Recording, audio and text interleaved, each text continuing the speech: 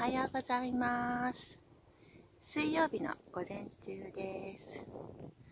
ここね桜の木を見に来ました。見えますか？少し。あ綺麗。ね。少し。咲いていました。私がねいつもあの定点観測している公園の桜の木です。ねえ。見えますか？桜の木。もうね東京で咲いてるとかも聞きましたけどね。こんな感じですね。うちの近くは。お日様太陽こちらですえー、誰もいません。誰もいません。ね歩きやすいです。だから。ね。誰もいないので。こんな感じで。これもねここも桜です。ねこっちの方はああこんなところで咲いています。あれ折れてるね。大丈夫でしょうか。トレーニングを中断しました。あすいません。トレーニング中断しました。ねえ。かわいい。桜。桜の木はあのこういう肌ですね。肌ね。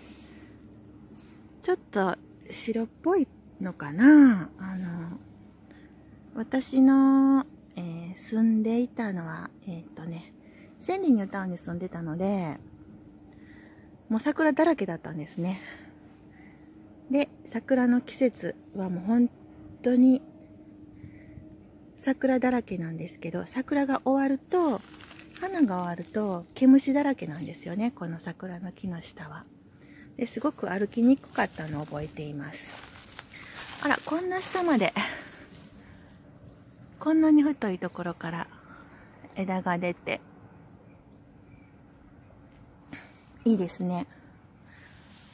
この下ももしゃもしゃになりますね、これからね。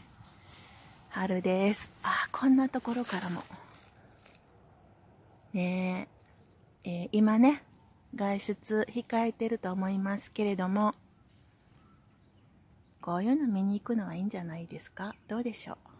ちょっとね、ちょっと朝日を浴びてね、私もこういうことができるようになって嬉しいです。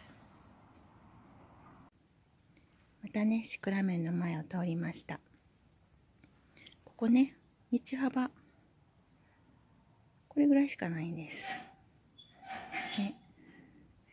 これぐらいの細い通りに入ってくると車も通らないし歩きやすいですね。ここに どうしたんでしょうかこのこの1本だけ。ね今日はくにちゃんランドステーションに行く日です。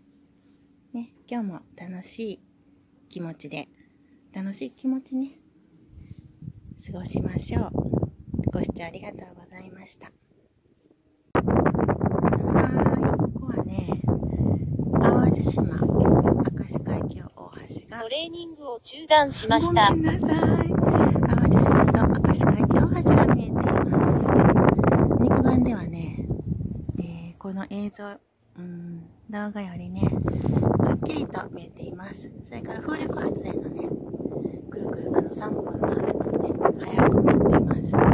今日は風がね、心地よく吹いています。ちょっと強めかな。